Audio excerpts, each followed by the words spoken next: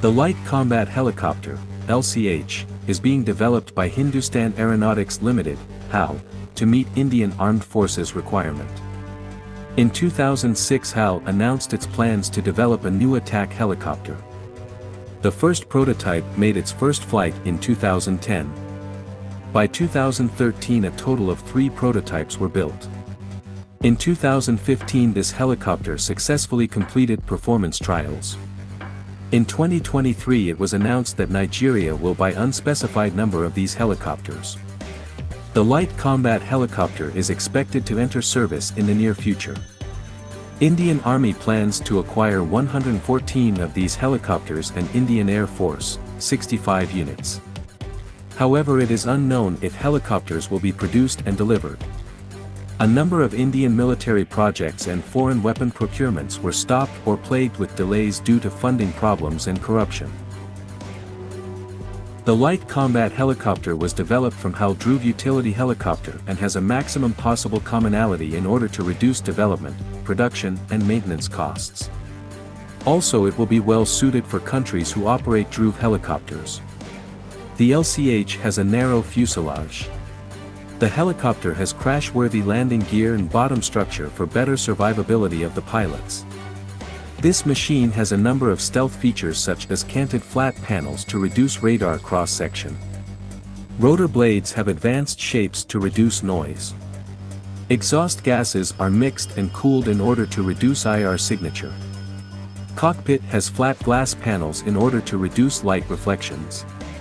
The main role of this attack helicopter is anti-armor and anti-infantry operations, scouting, destruction of enemy air defense units, escort of vehicles and helicopters. It can be used against slow-flying aerial targets, such as UAVs. It can also support combat search and rescue operations. This attack helicopter carries armor. Most likely that pilots and main components are protected. It is worth noting that cockpit has NBC filters. This helicopter has a front-mounted target acquisition designation system with FLIR. Sensor Suite was developed in cooperation with Israel. Electronic Warfare Suite has been developed by Saab of South Africa. The second prototype of the light combat helicopter was fitted with weaponry. It is armed with a 20mm turret-mounted cannon. Both gun and THL-20 turret were developed in France by Nexter. This attack helicopter has detachable stub wings. It can carry various rockets. These include 60-70 or 80mm unoperated rockets, Helina long-range anti-tank missiles, anti-radiation and air-to-air -air missiles. This helicopter can also carry free-fall bombs.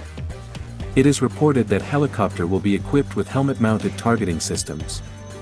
It can conduct day and night combat operations.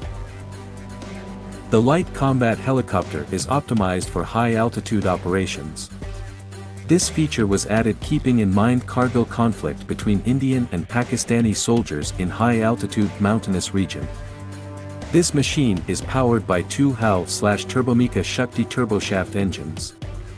This engine was jointly developed by Indian and French companies. It also powers HAL helicopter that were produced since 2007.